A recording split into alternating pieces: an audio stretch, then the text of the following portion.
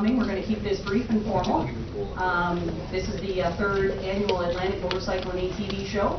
We're very excited to uh, be here. I'm going to make a few introductions. Um, Frank Woods is going to come up, make, uh, introduce you to some of the key players, have a light lunch, you can speak with who you need to speak with, and uh, to take a tour of the show. So thank you very much for coming. Um, First, I'd like uh, to um, invite up Joanne Farquhar.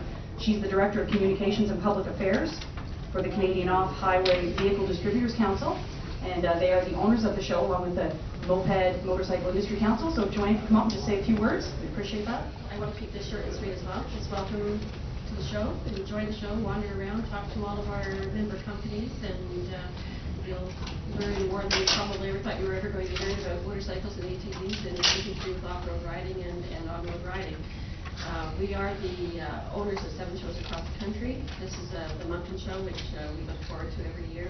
Uh, As they said, this is the third year that we've been um, in Atlantic Canada, and uh, this has been a great success. We look forward to every year coming here with all of our industry uh, member companies. They are the, uh, this is the only show where you're going to find all of our member companies in the industry there, and the, uh, the, the ultimate in uh, the 2010 models, and uh, any questions you have, these are the people to ask. So enjoy the show. If you've got any questions, we're here. Tim Stover uh, is the manager of the shows uh, from MMIC and COHV. Uh, We both can answer any questions you might have, but right now, it's just enjoy your uh, lunch and uh, look forward to. uh, very much, Joanne. And uh, Tim, warm welcome. Thank you for everything you do for us. Much appreciated. Some of the key players that I'd like to draw your attention to, there are uh, players in this show and players in our sport and in our industry. Uh, Folks that are here at the show and are available to you as the press uh, to find out more about what they're doing in motorcycling, particularly as it involves the East Coast. And I'm starting off with no particular order, although we are saving the best till last. Uh, I do want to introduce from the Atlantic Road Racing League from Shubenacadie, Nova Scotia. Halifax is his hometown, actually. Former number one plate holder in the uh, Atlantic Motorcycle Racing Series and now president of the Atlantic Racing League. We welcome Terry Steves. Terry, you'll be down on the floor, uh, down on the wall, as a matter of fact, right across from the BMW display. So anyone who is interested in speaking about road racing here on the East Coast can contact Terry in that regard. Also from the New Brunswick ATV Federation, the sponsors of the stage that I will be uh, performing on uh, this weekend. My thanks to the organization for that. We're pleased to welcome Daniel Boucher, Jacques Nadeau, and Jacques Poirier. Those gentlemen will also be available. I'm not quite sure where your display is, gentlemen, so uh, when the press are, uh, are speaking with you, perhaps you could point that out to them on the floor, and they may want to get down and get some footage down there as well. Also, although uh, I don't see him uh, gathering with us yet, a really big player in the East Coast. He is the publisher of the uh, Nova Scotia Motorcycle Tourist uh, Guide. The tour guide for Nova Scotia works uh, very closely with the provincial governments and what have you, and is responsible for bringing many thousands of motorcyclists and their wallets East Coast. Having said that, couldn't have picked a better time to watch Harold Nesbitt. Harold? I'm just pointing out some of the key players just to bring up to speed here, Harold, so, uh, Harold, rather, so as the uh, press are able to see you now, they may have some questions uh, as to what you do here on the East Coast uh, with your efforts. And again, we much appreciate you attending. Uh, One of the gentlemen that was unable to make it so far, although uh, if our record holds, he may be coming in the door right now, not the case, uh, and that is Clinton Smout from the Yamaha Riding Academy. I strongly encourage the press to have a chat with this man because he has been such an incredible player in the uh, Canadian motorcycle industry. I'll put a number to it that makes it very simple to explain what this man has accomplished. With his Yamaha Riding Aco- uh, Academy over the last few years, Clinton Smout has graduated 20,000 young motorcyclists. When he sent me that note, I said, Clinton, check your computer, I think your keyboard is stuck, the zero is sticking. 20,000 riders, an amazing accomplishment, and again, to the members of the press, I highly recommend you have a chat with uh, Clinton from the Yamaha Riding Academy. Well, as I said, we saved our best till last. A guy that's been making front page news, certainly here in Moncton and uh, right across Canada. We are so very, very proud of this young man. I had the opportunity to interview him at the Toronto Motorcycle Show, the MMIC show in downtown Toronto, and uh, that was before he headed to South America to the uh, Dakar Rally.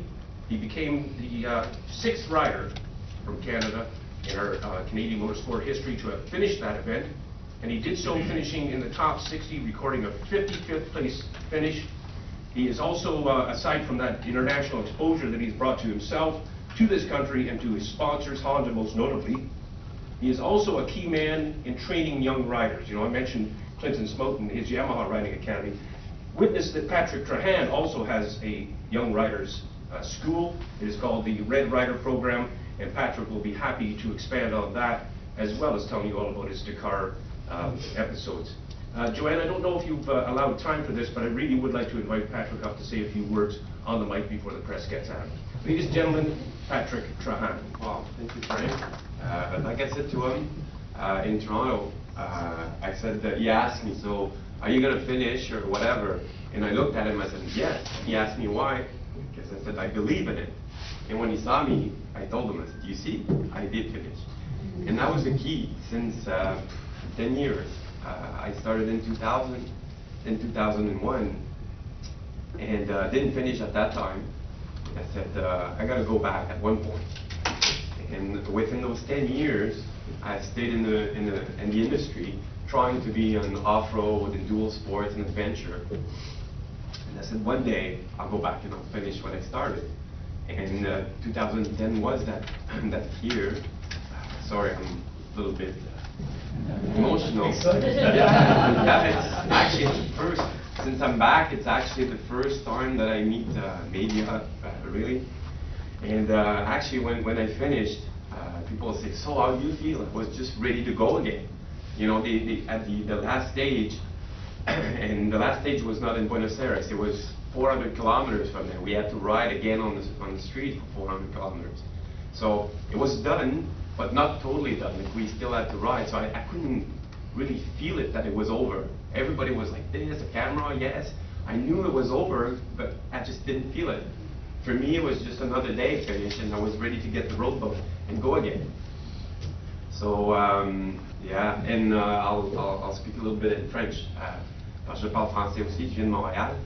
Euh, et puis, euh, c'est ça, de- depuis, depuis la fin du rallye, j'ai pas vraiment eu le temps de, de, pas de l'apprécier, mais de, vraiment découvrir que, j'avais vraiment fini. Puis c'est des occasions comme ça, avec les, les médias, que là, je, suis plus, un, peu plus émotionnel, parce que là, je, vraiment, je le vois.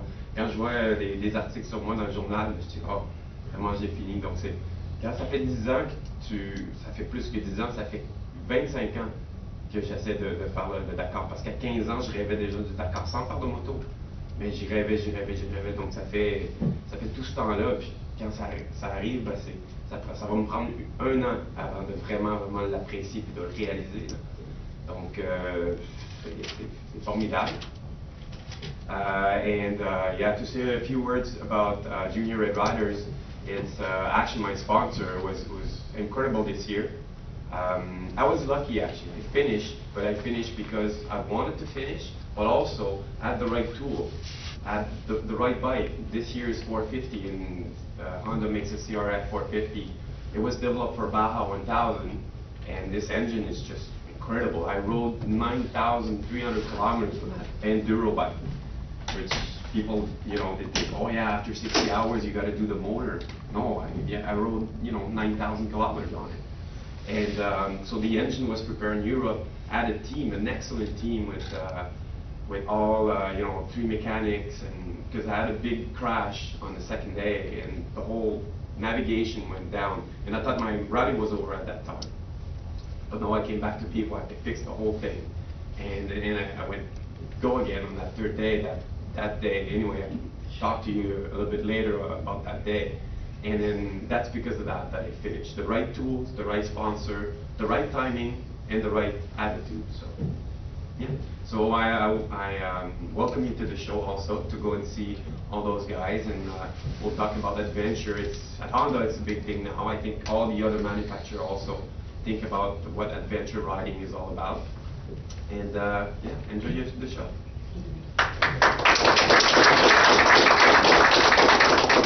Thank you very much. This being my third motorcycle show in, uh, in the eastern Canada, I haven't gone out west, but I've talked to folks who've gone out west, and uh, I'll tell you what, after the two Toronto motorcycle shows, and, uh, and this one is, is showing indications of the same thing, and the, the only phrase I can think of to, uh, to cap it all up is, what recession?